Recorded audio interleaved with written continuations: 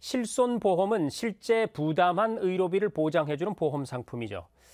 하지만 여러 상품에 중복 가입을 했더라도 중복해서 보상을 받기는 어렵습니다. 그래서 소비자들은 불필요한 보험료 부담을 줄이기 위해서 그동안에는 개인 실손만 중지할 수가 있었는데요. 올해부터는 단체 실손 보험을 중지하는 등 이 선택의 폭이 더 넓어진다고 합니다. 금융위원회 보험과의 유원규 사무관 연결해서 자세한 설명을 들어보겠습니다. 사무관님 안녕하세요. 네, 안녕하세요. 네, 앞서 말씀드린 것처럼 올해부터는 실손보험 중복 가입 때 회사가 계약한 단체 실손도 중지 신청을 할 수가 있고 어, 나아가서는 직접 보험료를 환급받을 수도 있다고 하던데 어, 어떻게 달라지는지 설명을 좀 부탁드릴게요. 네, 그동안은 단체 실손보험을 중지한다는 제도 자체가 없었는데요.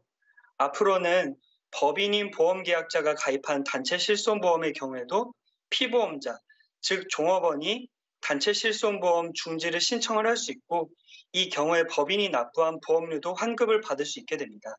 예컨대 법인이 단체 실손보험으로 연간 1계약당 약 30만 원을 납부했다면 종업원이 30만 원까지 환급을 받을 수 있게 되는 거죠.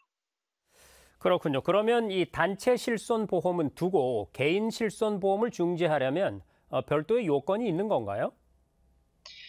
네, 개인 실손보험을 1년간 유지한 가입자가 단체 실손보험에도 중복 가입된 경우에 중지 신청을 할 수 있게 되는데요. 이 경우 근로자가 퇴직 등으로 피보험자 자격이 상실된 날로부터 1개월 내에 재개 신청을 하게 될 경우에는 원래 가입했던 개인 실손보험으로 재개할 수 있게 됩니다. 특히 올해부터는 제도가 개선돼 가지고 시, 실손보험 같은 경우에 신규 상품뿐 아니라 기존 상품으로도 다시 재개할 수가 있게 되니까 꼭 참고해 주시기 바랍니다.